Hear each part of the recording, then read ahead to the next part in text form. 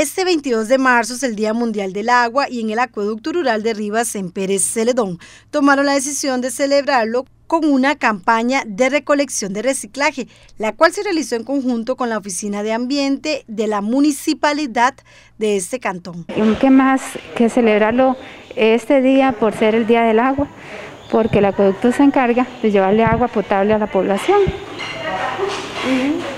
Es importante ese tipo de campañas porque se sabe que todo esto no va a llegar a los ríos, no se va a contaminar el agua. Exactamente, por eso tuvimos esa iniciativa desde el año pasado. Empezamos con la recolección de botellas de vidrio y todo tipo de reciclaje. Pero años atrás también hemos tenido campañas de siembra de árboles, recolección de basura en las calles. También eh, nos dedicamos a dar eh, algunas charlitas a los niños de la escuela. Eh, de, estos, eh, del cambio climático también. Es muy importante hablarle a la población para que tomen la iniciativa los niños y los adultos en, cuidar el ambiente. Hoy estamos, eh, sí, celebrando el Día del Agua y qué más con la participación de la municipalidad en conjunto con la SADA de Rivas en, en la recolección de vidrio y todo lo que es reciclaje, el resto. Hablamos de cartón, de latas y todo eso y aquí estamos hoy. Jenny, es que estas campañas han tenido mucho éxito. ¿Cuántas se van a hacer este año? Sí, estas campañas han tenido éxito porque a la gente le ha gustado mucho el, el, canje, el trueque verde y yo creo que sí vamos a lograr hacer por lo menos 70 campañas en todo el año. Dios primero, ¿verdad?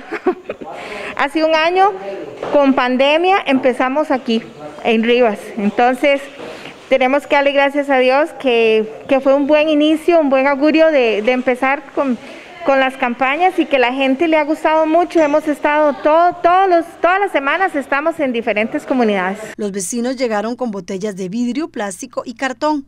Ellos hablaron de la importancia de este tipo de actividades y más porque los desechos no llegarán a los ríos. Es muy bueno porque no se contaminan este, las tierras ni los ríos, que es lo que pretendemos, este, no contaminar para, para las futuras generaciones, que ellos vayan a tener lo que nosotros, gracias a Dios, tenemos. Este, y bueno, casi casi lo tenemos en abundancia, pero, pero dentro de unos años no sé si, si irá a ver cómo lo hemos tenido nosotros. Entonces con, esta, con estas campañas lo que se trata de eso, tratar de que las futuras generaciones tengan lo que nosotros tenemos. Claro, a nosotros nos encanta participar en todo este tipo de iniciativas con la comunidad, entonces ya nos estábamos preparando desde hace tiempos. Excelente, ese es el, el, el producto que en pocos años va a dejar de existir y tenemos que cuidarlo, sembrando árboles y cuidando las cuencas de los ríos, para que así podamos tener ese, eh, eh, ese elemento natural eh, disponible siempre para toda la población.